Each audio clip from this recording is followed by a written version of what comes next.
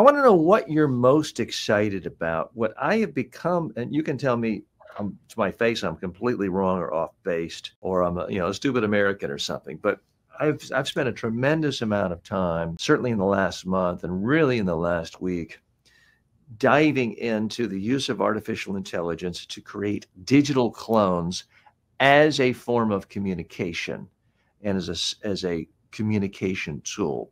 And I now have a clone where it's cloned my voice, and I would say it's about 95% there. It does not sound like a robot like that. you you you can tell it's not me, but it sounds 95% like me.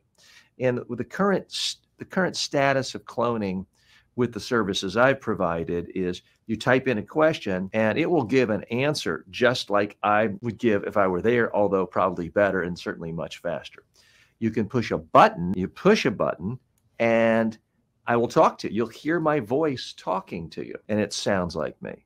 Yeah. And then the third option, which is coming on one consumer platform I'm using called Delphi.ai, is it's going to be a video, and it it, it inputs. Uh, right now, I have about five thousand, excuse me, five million words of my content from books, blog posts. It's transcribed YouTube videos.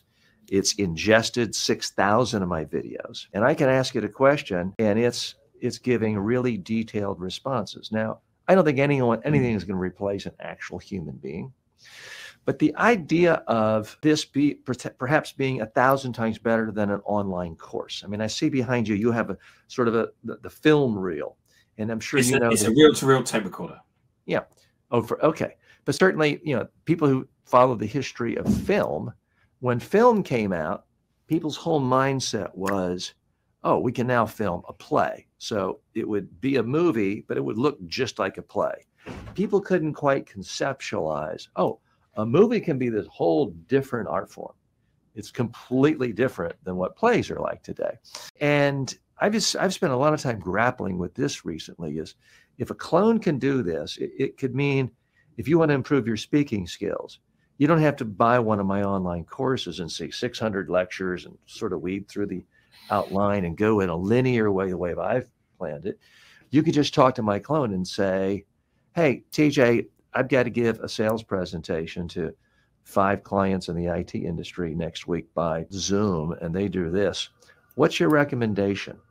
And you could pull out all of my years of expertise in a text form or me speaking to you telling you, here's exactly what I would do if I were you. Put together a summary, an outline, hit record, practice it, and I'll give you a feedback. Now, the feedback part isn't there yet as far as the the AI clone being able to discern the vocal intonations and all that. But my understanding is it will be by the end of the year. So I'm just wondering what your thoughts are about. Uh, the other beauty of the clones is now anyone in the world could write with me a question or ask a question in their language, I can respond in their language. So it yeah. completely eliminates language barriers. And really, for the first time ever, it it could turn communication into a one-on-one conversation. The problem with videos is it's a linear thing